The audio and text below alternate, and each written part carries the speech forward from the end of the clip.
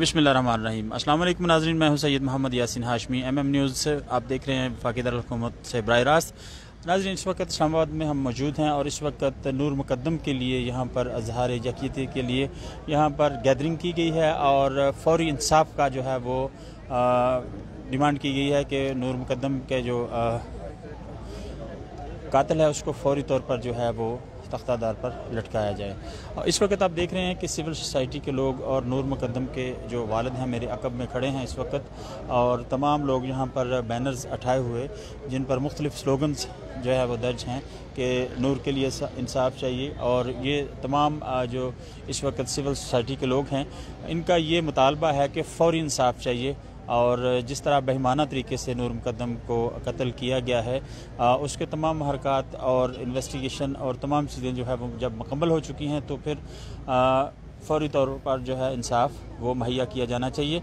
और आज यहाँ पर ये जो गैदरिंग की जा रही है वो इसी सिलसिले में यहाँ पे गैदरिंग हुई है। मेरा कैमरामैन आपको ये तमाम गैदरिंग दिखाता है। हम यहाँ पर मौजूद लोगों से बात करने की कोशिश भी करेंगे कि ये इस वक्त इनकी डिमांड जो है वो मैंने आपको बता दी हैं कि जितनी जल्दी हो सके इंसाफ जो है वो इनको फ्राहम किया जाए। तो अभी हम यहाँ पर कुछ सोशल एक्टिविटीज़ भी हैं, उनसे भी बात करेंगे और दीगर जो सिविल सोसाइटी के लोग मौजूद हैं उनसे भी इसी हवाले से बात करेंगे। चूँकि आज का जो यहाँ पे ये गैदरिंग है, इसका मेन मकसद ये है कि नूर मुकदम जो है, उसको इंसाफ जो है वो फ्राहम किया जाए। और चूँकि इस वक्त यहाँ पे हम देख रहे हैं कि बहुत सारे लोग जमा हैं और सबकी एक ही डिमांड है कि जो इस केस का मुलज़म है, उसे फौरी तौर पर उनको यहाँ पे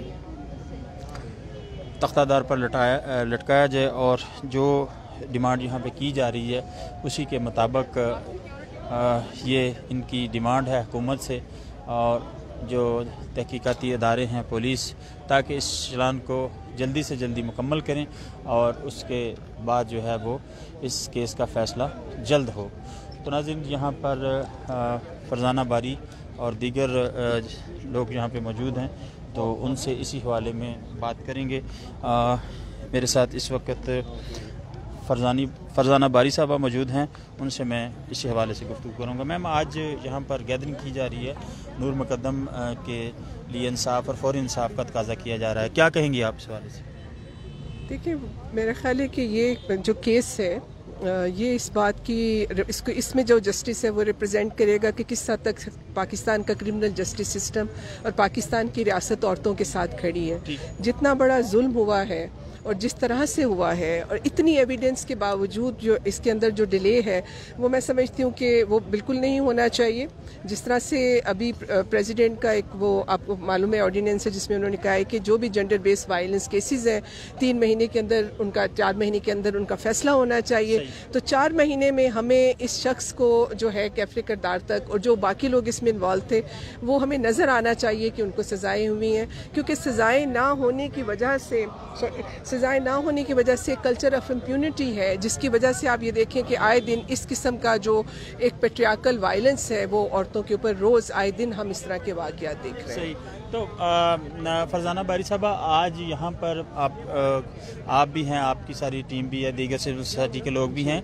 तो इस केस का तो अब तमाम चीज़ें तो अया हो चुकी हैं। हर चीज़ तो एविडेंस मिल चुकी है और वो तमाम एविडेंस ज़ाहिर करती हैं कि ब्रूटली जो है वो मर्डर हुआ हुआ है। तो अब इस फेस इस केस का तीन महीने से पहले फैसला आ जाना चाहिए था। तो क्या उसी के लिए किया जा रहा है कि मजीद तखीर ना की जाए? देखें बिल्कुल एक तो है कि स्पीडी जस्टिस देखें अगर जो हम ये देख रहे हैं कि इस तरह के केसेस में अभी केस ये जो है वो नीचे के लेवल पे पुलिस ने अपना टाइम दिया है और उम्मीद करते हैं कि पुलिस ने अपनी पूरी तरह से इन्वेस्टिगेशन करके तमाम एविडेंस जो इकट्ठे किए होंगे। अब ये जुडिशरी का ज़िम्मेदारी है कि वो इस केस का फैसला कम से कम वक्त में करे ताकि ये एक पैगाम जाए पूरे पाकिस्तान में। इस, तरह के पेट्रियाकल क्रिमिनल माइंडसेट वाले लोगों को कि अगर वो इस तरह के जराइम का इरतकब करेंगे तो वो कानून के शिकंजे से बच नहीं सकेंगे और उनके साथ जो लोग हैं। जिन्होंने इस जुल्म में उनका उस आदमी का साथ दिया है तो उनको भी कैफर करदार तक पहुंचाना चाहिए ताकि इस बात का भी पता लोगों के अंदर एक खौफ पैदा हो। तो मैं ये समझती हूँ कि कम अज़ कम वो केसेस पाकिस्तान के अंदर जो टेस्ट केसेस के तौर पर देखे जाते हैं उसमें तो कोई इंसाफ हमें मिल जाए। वैसे तो आए रोज़ यहाँ पे औरतों के साथ जुल्म होता है और इंसाफ कहीं उनको नहीं मिलता है लेकिन कम अज़ कम ऐसे टेस्ट केसेस के अंदर तो आप एक जो है वो मिसाल कायम करें ना। तो इसके लिए हम इसलिए आज भी यहाँ पे सारे जो नूर के साथ लोग हैं, वो यहाँ पे खड़े हैं ताकि हम अपना एक जो सॉलिडेरिटी भी है फैमिली के साथ, बच्ची के साथ, क्योंकि हम सब समझते हैं कि पाकिस्तान में जो नौजवान बच्चियाँ पढ़ी लिखी बच्चियाँ प्रोफेशनल उनकी जो तहफ़ है या उनके साथ तो उनके साथ जो भी कोई जुल्म करे उसको कैफ़े किरदार तक कम से कम वक्त में पहुँचाने की ज़रूरत है। अच्छा लास्ट छोटा सा सवाल है मेरा कि कहा जा रहा है चूँकि आप माशाल्लाह आपकी सही नज़र है कहा जा रहा है कि जी वो अमेरिकन नेशनल है तो उनका भी कोई इन्फ्लुएंस है जिसकी वजह से केस को लिंगरान किया जा रहा है। तो आप क्या समझती हैं? देखें चाहे कोई अमेरिकन नेशनल हो पाकिस्तान की सरजमीन पे एक जुर्म का इरतकब हुआ है ठीक है? अब पाकिस्तान का जो कानून है उसके मुताबिक ही उसको सजा होगी। ऐसा तो नहीं होता ना कि कोई बंदा जो है वो किसी हम पाकिस्तानी किसी और मुल्क में चला जाए और वहाँ जाके मर्डर करे तो वहाँ पे उसको सजा नहीं होगी और सोचेंगे कि वो पाकिस्तान उसको भेजा जाएगा। तो मेरे मेरे नज़दीक ये जो है ये तमाम मतलब इसको इसको डिले करने की टेक्टिक्स है और हम इसको इसकी पुरजोर मजम्मत करते हैं। ये जो शख्स है इसने इसका इकरार भी किया है। तमाम एविडेंस जो है वो पुलिस के पास मौजूद है।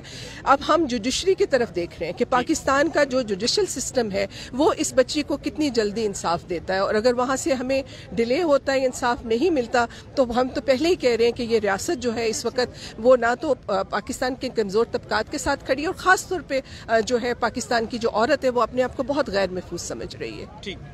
जी नाजरीन फ़रजाना बारी साहबा मेरे साथ मौजूद थी और उनकी आपने गुफ्तु सुनी कि यहाँ पर स्पीडी जस्टिस के लिए ये तमाम सिविल सोसाइटी के लोग और ह्यूमन राइट्स के जो नुमाइंदे हैं जो आ, चेयरमैन हैं, यहाँ पर मौजूद हैं। उनका ये कहना है कि डिले टैक्टिस किसी सूरत में भी कबूल नहीं किए जाएँगे। नूर मुकदम केस का फौरी फैसला होना चाहिए, फौरी इंसाफ होना चाहिए। तमाम चीज़ें जो हैं वो अगर इकट्ठी हो चुकी हैं एविडेंसेस और इन्वेस्टिगेशन मुकम्मल हो चुकी है तो इस केस का फैसला फौरी तौर पर आ जाना चाहिए। अगर इसका फैसला नहीं आता तो फिर इसके लिए इसी तरह पुरअमन एहतजाज का सिलसिला जारी रहेगा। और उनका ये भी कहना है कि हम अभी जो है वो कोर्ट की तरफ़ देख रहे हैं और हमें उम्मीद है कि इन ताला कोर्ट से हमें इंसाफ मिलेगा और जो नूर मुकदम को बेहमाना तरीके से कत्ल किया गया है उस के कातल को ज़रूर सज़ा मिलेगी और वो कैफरी किरदार तक पहुँचेगा। मेरा कैमरा मैन रिजवान नाजरीन आपको दिखाता है कि इस वक्त यहाँ पर कितनी गैदरिंग है और कितने लोग यहाँ पर मौजूद हैं। कुछ यंगस्टर जो लड़कियाँ हैं वो यहाँ पर बुके फ्लावर्स वगैरह लेके आई हुई हैं और यहाँ पे फादर जो हैं वो नूर मुकदम के वो भी मौजूद हैं। और इस वक्त यहाँ पर जो प्ले कार्ड्स हैं उन पर बड़ा वाजह तौर पर लिखा हुआ है कि जुल्म पर खामोशी और जुल्म से बड़ा जुल्म। इसी तरह के जो है जुल्म करने वालों को कानून का सामना करना चाहिए। तो ये तमाम स्लोगन यहाँ पर इसलिए दर्ज किए गए हैं और साथ साथ ये तमाम लोगों का कहना है कि हम नूर मुकदम के साथ खड़े हैं। इसको फौरी तौर पर स्पीडी जस्टिस मिलना चाहिए। अब ये जो केस है, ये अपनी नवैयत का वो केस है जो आवाम नहीं भूले। चूँकि बाकी जैसे दीगर केस थे उस्मान मिर्ज़ा या दीगर, लेकिन नूर मुकदम का केस जो है वो पाकिस्तान की आवाम नहीं भूली और इसीलिए यहाँ पर आज ये गैदरिंग की गई है कि स्पीडी जस्टिस जो है वो मुहैया किया जाए। तो नाजिन ये कुछ ताज़ा तरीन था बर जो आप एम एम न्यूज़ पर देख रहे थे। इसी के साथ सैयद मोहम्मद यासिन हाशमी को इजाज़त दें। अपना बहुत सारा ख्याल रखिएगा। अल्लाह सुबहाना तला आपके निगवान